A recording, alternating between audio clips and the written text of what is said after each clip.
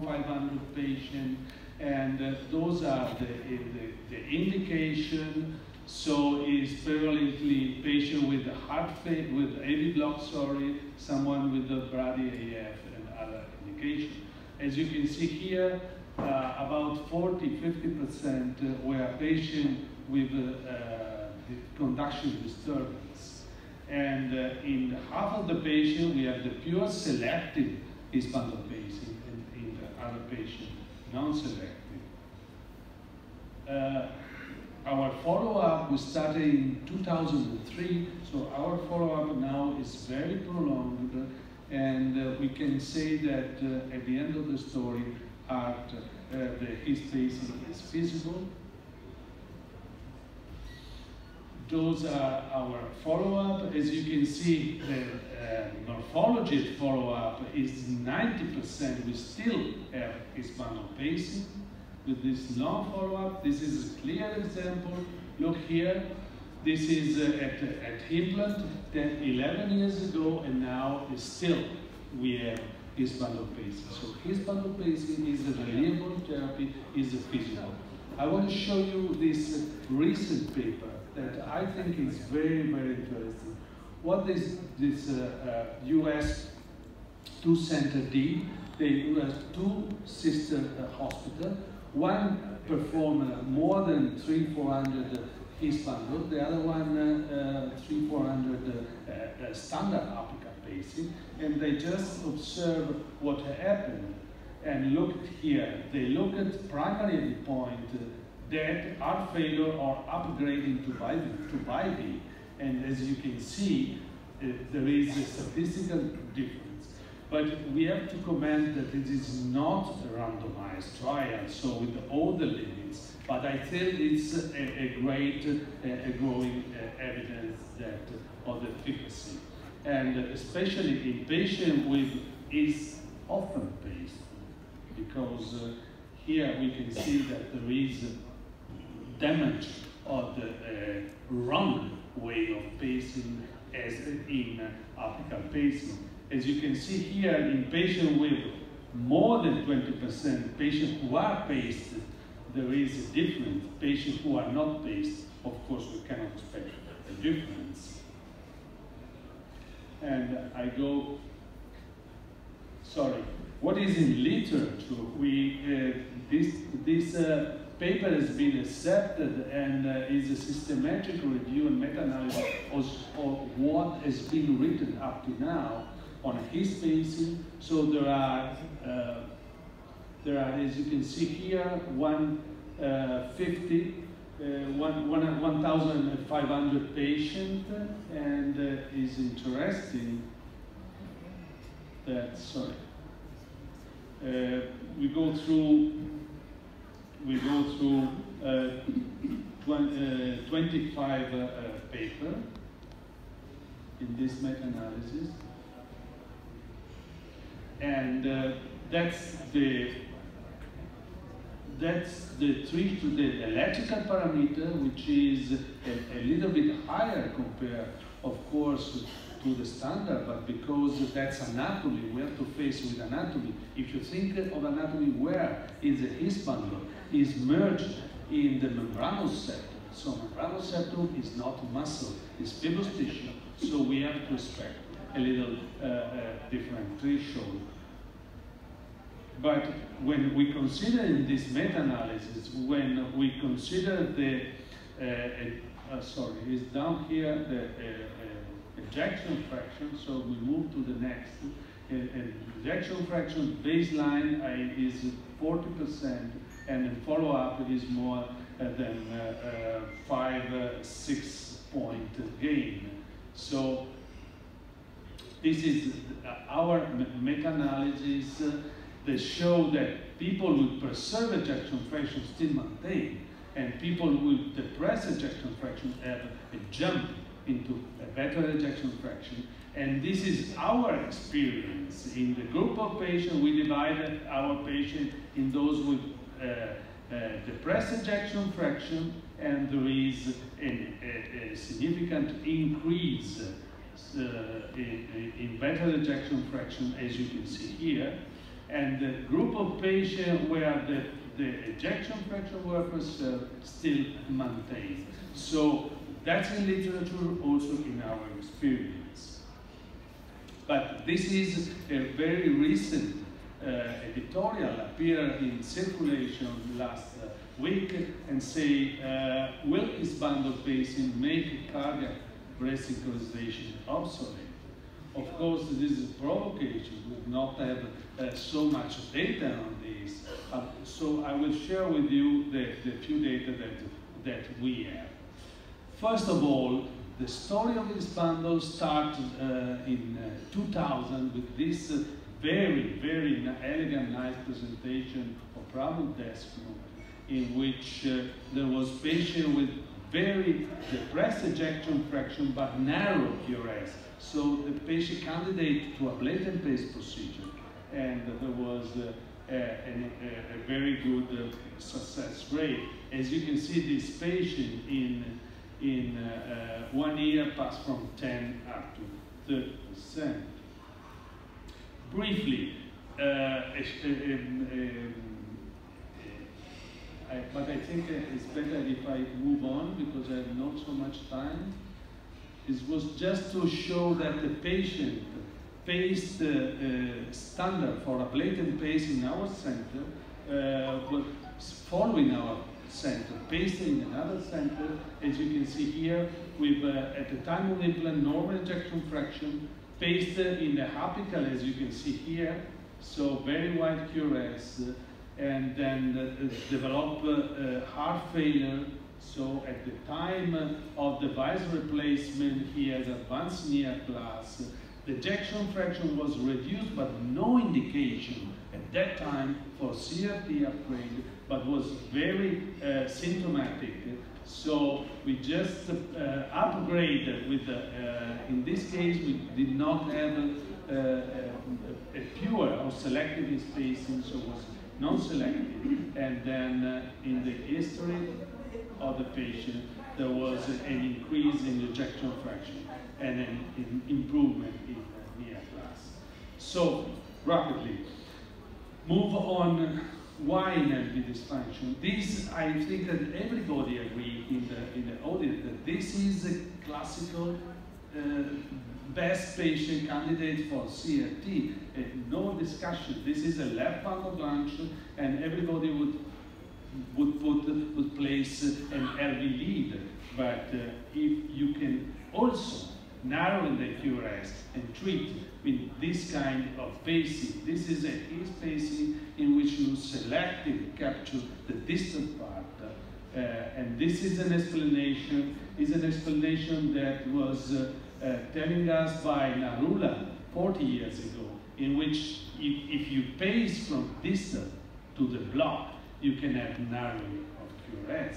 And I show you some example. Uh, like in this case, look, this is the his, his pacing non-selective, so, with QRS, more than 170, and this is a, a, a very elegant example of narrow QRS. So this is another example, and what is worth to know in this case, look, what is here endo. This is the signal, look at this compass, left branch block, this endo means that is the signals in the coronary sinus, which is at the end of QRS, and it's probably what we look for when we do CRT. We look for a very wide QLV, but look here, which is two, uh, 200, but look here, we gain, so we, we get the LV so we are doing really resynchronization and we gain approximately 9, 90 milliseconds during his phantom pacing. This is another example. So one of the first randomized was made by uh, Lustgarten a few years ago, and they showed that uh, uh, comparing his with BIV, there were a similar increase in ejection fraction, improvement in NYHA class, in quality of life, and six minute walk. And also in uh, uh, echo parameter, as you can see here. There is an experience from the Spanish group, look here. So defibrillator, not the LV, because of the left bundle block, but his pacing just to narrow the QRS. And they observe that, like in this case, this is the left bundle desynchronized, his pacing synchronized, and they have a good result in the population in terms of improvement in remodeling and quality of life.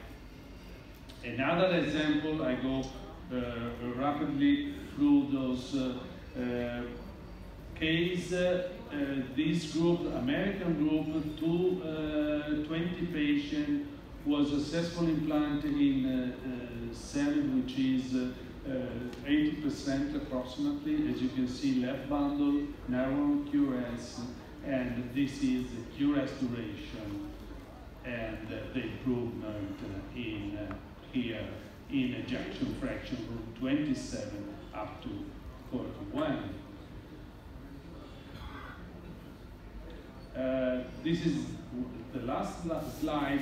So this uh, uh, group US group also, they try in two different patient population. Group one, there was uh, rescue. Uh, rescue, they call uh, rescue uh, his bundle pacing in patient failed with BIV or in uh, non-responder. So there were 30 patients approximately, and those are a group which are 70 patients are in first attempt in the HIS bundle. So they observed that overall QRS duration were narrow with HIS bundle, of course, as expected, but also that there was an increase in LV function and a reduction in uh, NYHA functional class. So I will go, I think, uh, rapidly to the conclusion or key points. We can say that uh, his bundle pacing is now indicated in every kind of AV block. At the beginning, we just say in HV uh, preserved uh, conduction. So now we do in every kind of uh, AV block, nodal or also infra Hisian level. In uh, we can also do narrow QRS in left bundle, in right bundle, but there are also encouraging data on the role as an alternative to CRT into the possibility of narrowing and so to racing in another way of resynchronize the. But of course, if it could represent as an alternative, it has to be confirmed in large randomized clinical trial. Thank you for your attention. Thank you, Dr. Zanon, for a wonderful presentation. Uh, what is the data about uh, his bundle pacing compared to the mid-septal pacing? Uh, as we know that it's very good compared to RV apical pacing, but there are other uh, alternatives. Yeah, there are not there are no data. uh, first of all, uh, but what is uh, now is there are a, a, large amount of data on septal pacing, and are very conflicting data. There's no so uniform data on the supposed benefit of uh, the septal compared to apical. Mainly, probably, because we don't know exactly where we put in the septal. Most of the time it's not true septal. You have to go very posterior, so probably it's also a problem of technical uh, tool and mainly we go in the in the junctions between the septum and the free wall, so it's not true. Anyway, there are no shape data. Stylet, if you shape on a stylet, you direct it more yeah, the style. Yeah, yeah. that reason. The second question is that uh, there were some initial concerns about the uh, lead dislocation or the rising pacing thresholds but they have of course stabilized. So what is your experience about the long-term uh, thresholds and, and the lead uh, stability?